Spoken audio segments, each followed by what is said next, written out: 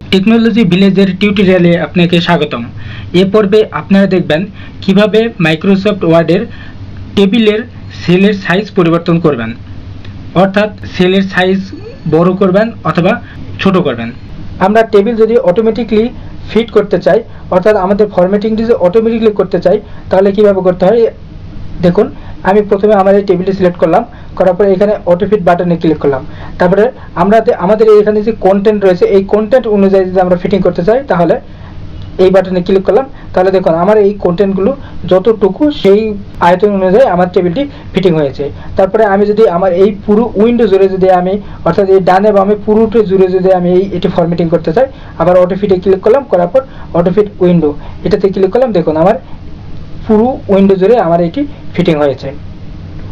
ইতিপূর্বে আপনারা কীভাবে কলাম অথবা কীভাবে রো ছোট বড় করতে হয় দেখেছেন আমরা দেখেছি যে এইভাবে রোর এখানে ক্লিক করে টেনে ধরলে আপনার এটা বড় হবে। আবার এই কলামগুলো যদি আমি এখানে ক্লিক করে টেনে যদি এইদিকে দিই, তাহলে দেখুন এই কলামটা ছোট হয়ে যাচ্ছে, এই কলামটা বড় হচ্ছে। এভাবে আমরা ছোট বড় করা শিখেছি। কিন্তু আমাদের এই এভাবে ছোট বড় করলে সেটার মাপ কতটুকু হচ্ছে?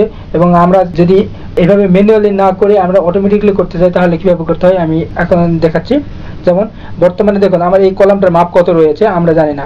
আমার এসেছে এটাতে আমি ক্লিক করলাম, এইখানে দেখুন যে এই যে সেল সাইজ যে সেকশন রয়েছে এখানে দেখুন হাইট লেখা রয়েছে, এখানে জিরো পয়েন্ট ওয়ান টু লেখা রয়েছে এবং নিচে উইথে লেখা হয়েছে ওয়ান পয়েন্ট ওয়ান ফোর অর্থাৎ বর্তমানে আমার এই সেলটির হাইট হচ্ছে জিরো পয়েন্ট ওয়ান টু আমি যদি এইখানে এটি বাড়াই দিই, এখানে ক্লিক করে বাড়াই দিই দেখুন আমার এই সেলটির হাইট হচ্ছে বেড়ে যাচ্ছে। আবার আমি এটাতে যদি ক্লিক করি, তাহলে দেখুন কমে যাচ্ছে। আবার অনুরূপভাবে আমরা কলামটা যদি আমরা বেশি অথবা কম করতে চাই, এটাতে ক্লিক করলাম, দেখুন আমার কলামটি, কলামের সাইজটা আমার বেড়ে যাচ্ছে। আবার এতে ক্লিক করলে কমে যাচ্ছে। এভাবে আমরা সেল অথবা কলাম অথবা রো ইত্যাদির হাইট এবং ওয়েট কমাতে পারি এবং বাড়াতে পারি। আবার দেখুন, আমরা যে এই নিচের যেই রোটি আমরা বড় করেছি, আমরা যদি চিন্তা করি যে আমার এই বর্তমানে টেবিলের যে সাইজ রয়েছে, এই সাইজের ভিতরে আমার পুরো টেবিলটি ফরম্যাটিং হবে। আমি পুরো টেবিলটি সিলেক্ট করলাম, করার পর এইখানে দেখুন ডিস্ট্রিবিউট রোজ নামে একটা বাটন রয়েছে। এই বাটনে ক্লিক করলে আপনার এই যে স্পেস রয়েছে, এই স্পেসের পুরো স্পেসটার মধ্যেই আপনার টেবিলটি ফরম্যাটিং হয়ে যাবে।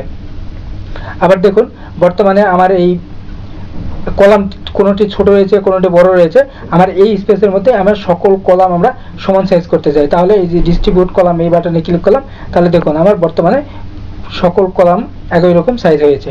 এভাবে আমরা অটোমেটিকলি কলাম এবং রোড সাইজগুলো আমরা ঠিক করতে পারি। এই পর্বে আপনারা দেখলেন মাইক্রোসফট ওয়ার্ডের টেবিলের কলামের সাইজ ছোট এবং বড় করার পদ্ধতি রোড সাইজ ছোট এবং বড় করার পদ্ধতি। এছাড়া কলামগুলোকে অটোমেটিক্যালি ফরম্যাটিং কীভাবে করতে হয় এবং রোগুলোকে অটোমেটিক্যালি কীভাবে ফরম্যাটিং করতে হয়। পরবর্তী টিউটোরিয়াল দেখার আমন্ত্রণ জানিয়ে এই পর্ব এখানেই শেষ করছি। ধন্যবাদ।